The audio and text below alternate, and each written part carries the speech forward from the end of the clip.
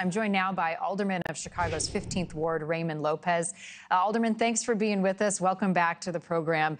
What are Thank you, you What are you most looking forward to as uh, Chicago is highlighted this week during the DNC?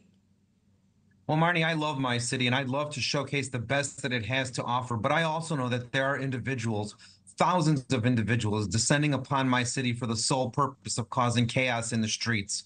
And that, I think, is really going to be the dual message that we see come out of this convention. On one hand, you have my city, a Democratic city, a long run Democratic city, trying to showcase itself, while at the same time, you have police who are going to be struggling to deal with these individuals who you just highlighted in the previous segment. You have stores that are terrified of potential rioting and looting. And you have communities that don't know whether or not 911 calls will be answered because so many resources are being put to the test during this convention. What are some of the preparations that you're hearing from those in your ward getting ready for the potential of violence anytime you have an event this large? Well, we know that our superintendent and our police have said that they're going to maintain both the safety of the convention and the safety of the neighborhoods. But we know that from Lightfoot to Johnson, there has been a steady stream of disinvestment in our police that are that is going to leave us surely lessened when it comes to keeping people safe. Right now, uh, uh, as I speak, there are 294 police vehicles that are out of commission that should have been on the street in preparation for this. We know that major 911 call, many 911 calls are not going answered unless there's a homicide or a shooting, which means burglary and things of that nature, lower level crimes are not being answered. And all of those impact the quality of life that we see. So, what I'm encouraging residents in my ward and throughout the city is to work together, stand together, and let's hold our own during this next four days so that we can keep our city intact and not allow these outside usurpers to come and destroy our, our great city. You talk about those intent on violence and some of those in your ward boarding up their businesses. Are you hearing much chatter about the intent on some of these outlying groups to cause damage? Well, we have seen where some of these groups, even emboldened by our mayor, emboldened by some of my socialist colleagues, have made it a calling card to make this greater than 1968 and to go home with police earned bruises, meaning that they want to engage physically with our law enforcement, even though our law enforcement wants to go home safely every night during this convention.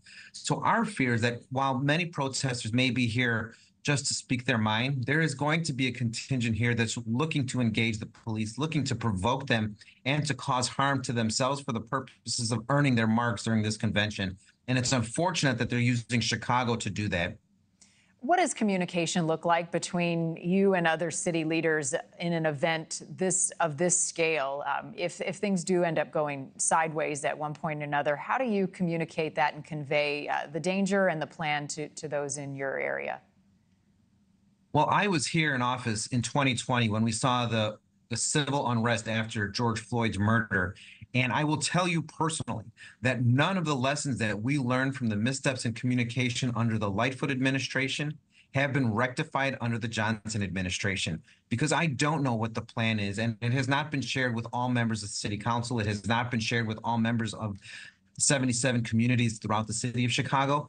And I think if things were to go sideways, which none of us want to see happen, we're going to be reinventing the wheel again, but more so at a time when many of the law enforcement that are here to help us maintain law and order in the in the during the, the convention have not been granted police powers by the Johnson administration. So those individuals will not be able to legally arrest anyone because Mayor Johnson has not allowed that authority to be granted to them. What are the conversations you're having with other fellow aldermen in preparation for for today and the days ahead?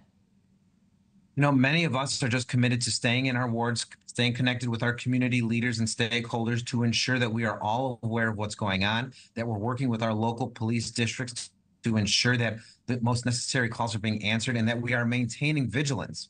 And I think that is the most important message for all of us is that we must maintain our vigilance during the next four days so that nobody finds a weak spot in the armor and takes advantage of it. Thank you for watching. Go to newsnationnow.com to find News Nation on your television provider. And don't forget to click the red subscribe button below to get more of News Nation's fact driven, unbiased coverage.